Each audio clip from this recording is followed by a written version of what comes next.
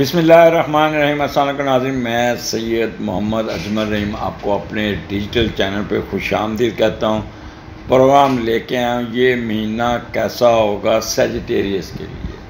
اور یہ ہمارا مہینہ جولائی کا جو شروع ہوگا، اکیس جون سے اکیس جولائی کے درمیان کیا ہونے جا رہا ہے۔ سیجیٹیریس آپ کے لیے تھوڑا سا یہ ٹف ہوگا مہینہ، کیونکہ آپ کے آٹھویں گھر میں سن وینس اور مرکری راہو کی سکیئر پانچویں گھر سے۔ تو اس لیے تھوڑا سا آپ کو اس پروگرام کو پورا سنیے گا، جو جس طرح میں آپ کو نصیحت کروں، اس نصیحت کیا کرنی ہے ایڈوائز کیا کرنی ہے جیسے ہونا تو وہی جو اللہ تعالیٰ نے آپ کی قسمت میں لکھا ہوا ہے، وہی ہونا ہے۔ بٹ اللہ تعالیٰ کہتے ہیں کہ تو تدبیر کر، میں تقدیر بدلتا ہوں اور صدقات ہی بندے کو اللہ تعالیٰ آپ کے رویوں کو ٹھیک، آپ کے معاملات کو ٹھیک کر دیتے ہیں۔ آٹھواں گھر ہے اور آپ کے آٹھویں گھر میں وینس ہے، مرکری ہے، سن ہے۔ اور راہو کی اسکیئر کی وجہ سے یہ گھر ڈبل انفلیکٹڈ ہو گیا۔ بٹ اس کا میڈیٹر مون ہے۔ مون ہر ففٹی ٹو آورس کے بعد گھر تبدیل کرے گا۔ تو یہ مہینہ پورا ایسے جیسے ای سی جی چلتی ہے، ایسے ہو، کبھی اوپر، کبھی نیچے، کبھی اوپر، کبھی نیچے۔ لیکن one thing keep in your mind کہ اپ ٹو تھرڈ جولائی مون مسلسل پھنسا ہوا۔ تو پہلے بعد دس بارہ دن آپ نے بڑا سنجیدہ ہو کے، بڑا سوچ سمجھ کے، بڑا طریقے سے چلنا۔ گا کوئی ریش ڈیسیجن نہیں لینا، کوئی معاملات کو ٹریگر نہیں کرنا، کوئی معاملات آپ نے چھیڑ خانی نہیں کرنی۔ اور as and when fifth six start اور مون یہاں آ جائے گا تو میڈیٹر بھی پازیٹیو ہو جائے گا۔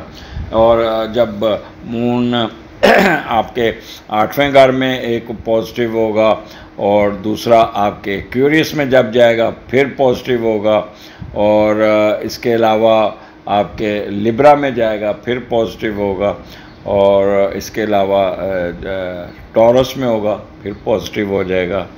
تو یہ آپ کو چار پانچ فیز تھوڑے سے برے آئیں گے، چار پانچ فیز بہت اچھے آئیں گے۔ اب آٹھواں گھر ہے، سن وینس مرکری آپ کا ادھر ہے۔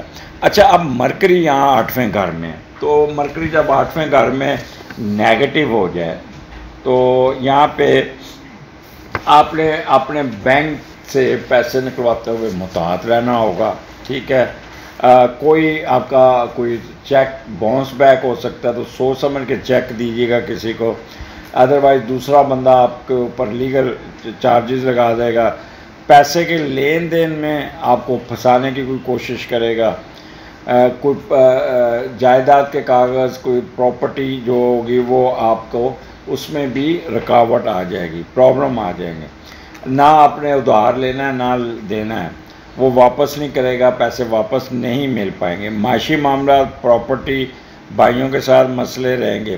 میدے کے معاملات گائنی کے ایشو اور پرائیویٹ پارٹ سکن الرجی کے مسائل اس مہینے آپ کو تنگ کر سکتے ہیں۔ اس کے علاوہ مرکری جو ہے نا، وہ آپ کو اگر آپ اچھا یہاں پہ ایک اور چیز ہو سکتی ہے کہ مرکری نے یہاں پہ تھرڈ جولائی تک ہے۔ تو یہ آپ کو ایسا لگے گا جیسے آپ نے اگر کوئی رینٹڈ پراپرٹی ہے اور آپ کرایہ، تو وہ جو کرایہ دار ہوگا وہ آپ کے پیسے دبا سکتا ہے۔ تو اس میں پریشان ہونے کی ضرورت نہیں، نکل آئیں گے۔ وقتی طور پہ وہ اس کے پاس وہ آپ کو تھوڑا سا تنگ کر سکتا ہے۔ وراثتی جائیداد میں خلل پڑ سکتا ہے۔ اور آپ کہہ لیں کہ کمیونیکیشن میں تھوڑا سا اونچ نیچ ہوگی۔ اب وینس بھی آٹھویں گھر میں ہے تو یہاں پہ وینس کا کام ایز اے کیٹلسٹ بھی ہوگا۔ لہٰذا وہ اس کی آٹھویں کی خصوصیت کو اٹھانے کی کوشش کرے گا۔ تو وہاں پہ سن، کیونکہ آلریڈی نیگیٹو ہے، تو اگر جس دن مون پازیٹیو ہوگا، تو اس دن آپ کو وراثتی جائیداد کے معاملات سیدھے ہوں گے۔ جس دن نیگیٹو ہوگا، وہاں رکاوٹ آ جائے گا۔ رکاوٹ آ جائے گی۔ اور آپ کو لوگوں کے ساتھ آپ کو تھوڑا سا سوچ سمجھ کے چلنا ہوگا۔ اچھا جب سن اور وینس کٹھا ہوتا ہے، تو بندے کو ہر طرف میں ہی میں نظر آتا ہے۔ اوپر سے آٹھواں کا آپ خام خواہ اپنا، آپ اپنی you will poke your nose in every matters unnecessarily یعنی کہ ہر ایک مسئلے میں پنگا لینا جسے کہتے ہیں، وہ بہت لیں گے۔ آپ کا ایشو بھی نہیں ہوگا جا کے اس میں گھسنے کی کوشش کریں گے، جس سے آپ کافی پھر پرابلم میں آ سکتے ہیں۔ تو ایک آپ کا اپنے آپ کو کنٹرول کرنا ہوگا۔ اور پہلے جو بارہ دن ہیں، اس پہ آپ نے کوئی کسی قسم کی بحث، ماسا نہیں کرنا، کوئی پنگا نہیں لینا، کسی کے ساتھ لڑائی جھگڑا نہیں کرنا، بات کو طول نہیں دینا۔ تو اگر آپ نے یہ کیا تو ڈسکریس ہو سکتی۔ آپ کا ڈیگریڈیشن آپ کے اوپر پرچہ یا لیگل چارجز لگ سکتے۔ تو اس لیے کوئی ضرورت نہیں ہے۔ کول اینڈ کام رہیے گا۔ اور اپنے آپ کو مینٹل وری سے دور رکھنا ہوگا۔ اور یہ میرا پروگرام ضرور سن لیجیے گا تاکہ آپ تھوڑا سا اچھا پھر کوئی ایسے معاملات آئیں گے جس سے آپ دل برداشت، دل برداشتہ ہو جائیں گے، معاملات ڈیلے ہو جائیں گے، جس سے آپ ڈپریشن کا شکار ہو سکتے ہیں اور ٹینشن انزائٹی میں رہیں گے۔ گورنمنٹ کی طرف سے آپ کو کوئی سپورٹ نہیں ملے گی۔ اگر آپ کی چارج شیٹ چل رہی ہے، انکوائری چل رہی ہے یا کوئی کیس چل رہا ہے، تو اس کو اس مہینے میں لنگر آن کر کے اگلے مہینے میں لے جائیے گا۔ نہیں تو فیصلہ آپ کے حق میں نہیں آئے گا۔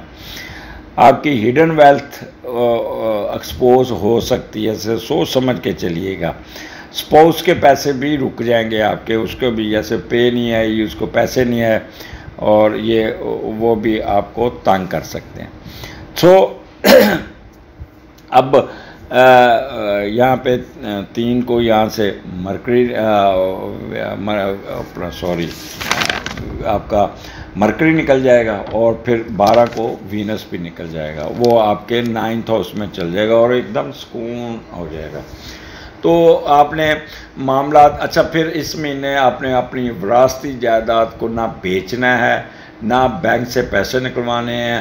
اگر پیمنٹ کرنی ہے تو چیک پیمنٹ کیجیے گا کیش نہیں لے کے نکلنا۔ اگر اگلا بندہ لے کے مکر سکتا ہے، اگر کسی کو پیمنٹ کرنی ہے تو کسی تیس دو بندے بٹھا کے پیمنٹ کیجیے جو گواہ ہوں آپ کے۔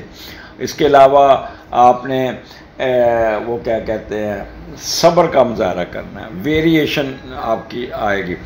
اب آ جاتے ہیں کہ پانچواں گھر آپ کا انفلیکٹڈ ہے جوپیٹر کے ساتھ، وہ خواتین جو پریگننٹ ہیں، ان کے لیے یہ مہینہ اتنا اچھا نہیں ہوگا۔